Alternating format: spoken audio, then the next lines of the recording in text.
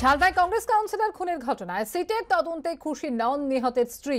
রাজ্য পুলিশের ওপর আস্থা না রেখে ফের সিবিআই তদন্তের দাবি জানিয়েছেন তিনি। ঝালদায় কংগ্রেস কাউন্সিলর তপন কান্দুকে খুনের ঘটনায় পাঁচজন পুলিশ কর্মীকে ক্লোজ করা হয়েছে। নিহত কাউন্সিলরের স্ত্রীর দাবি, মূল অভিযুক্ত ঝালদা থানার আইসির বিরুদ্ধে কোনো ব্যবস্থায় নেওয়া হয়নি। তাই পুলিশি তদন্তে তাদের আস্থা নেই বলে জানিয়েছেন নিহত কংগ্রেস কাউন্সিলরের স্ত্রী পূর্ণিমা কান্দু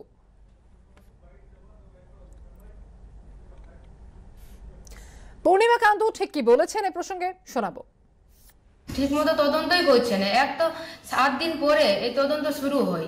আর যাদের যাদের নামে আমার অভিযোগ, তাদেরকেই এখন অ্যারেস্ট করেন না তাদের বিরুদ্ধে কোনো কিছু করা হচ্ছে না। আইসি পর্যন্ত ওই সিটে বসে আছে। আমি এটাই চাইছি যে সিবিআই তদন্ত হোক। আর আপনারা তো দেখে যাচ্ছেন আমার সঙ্গে সব সময়ের জন্য ঝালদাবাসীরা সবসময় আমার সঙ্গে আছে। তার জন্য আমি এই লড়াই লড়েই যাব আর আমার স্বামীর দোষীদেরকে চাই যেন শাস্তি হয় শাস্তি হয় ভালো করে। আর তার জন্য আমি সিবিআই তদন্তটা চাইছি। পাঁচজনকে ক্লোজ করলে তো হবে না, আমার তো আমার আইসির বিরুদ্ধে আমার অভিযোগ। সে তো এখন ডিউটি করে যাচ্ছে। সে তো এখন চেয়ারে বসেই আছে, তাকে সাসপেন্ড করা হোক। কালনা পৌরসভার বোর্ড গঠন নিয়ে চাপান চাপানুতরের রেশ এবার কলকাতায়। বারো জন বিক্ষুব্ধ তৃণমূল কাউন্সিলর সহ সতেরো জনকে আজ কলকাতায় তলব করে রাজ্য নেতৃত্ব। এদের মধ্যে রয়েছেন তৃণমূল থেকে বহিষ্কৃত কাউন্সিলর তপন পোড়েলো। সূত্রের খবর, বিক্ষুব্ধদের নিয়ে বৈঠকে বসবেন মন্ত্রী অরূপ বিশ্বাস। থাকবেন পূর্ব বর্ধমান জেলা সভাপতি রবীন্দ্রনাথ চট্টোপাধ্যায় এবং মন্ত্রী স্বপন দেবনাথ কজন আছে মালদার হরিশ্চন্দ্রপুরে বন্যা ত্রাণ কেলেঙ্কারিতে তৃণমূল নেতার পর এবার আত্মসমর্পণ করলেন পঞ্চায়েত সমিতির ত্রাণ কর্মাধ্যক্ষ।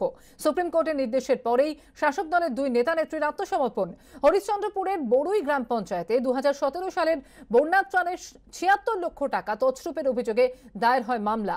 সেই মামলায় গত বৃহস্পতিবার হরিশ্চন্দ্রপুর থানায় গিয়ে আত্মসমর্পণ করেন তৃণমূল নেতা আফসার হোসেন। একই পথে হেঁটে আজ সকালে থানায় আত্মসমর্পণ করেন হরিশ্চন্দ্রপুর এক নম্বর পঞ্চায়েত সমিতির ত্রাণ কর্মাধ্যক্ষ রোশেনারা খাতুন। এখনও ফেরার বড়ুই গ্রাম পঞ্চায়েতের তৃণমূলের প্রধান সোনামণি সাহা।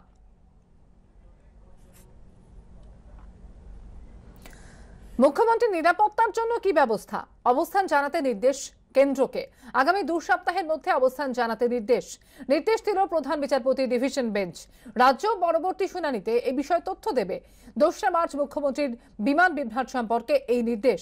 দু হাজার পর আবার দোসরা মার্চ একই ধরনের বিমান বিভ্রাট ঘটে। আগেও এফআইআর করা হয়েছিল। মামলাকারীর আর্জি মুখ্যমন্ত্রীর ক্ষেত্রে কি ব্যবস্থা জানাক? ডিজিএস পরবর্তী শুনানি রয়েছে পঁচিশে এপ্রিল।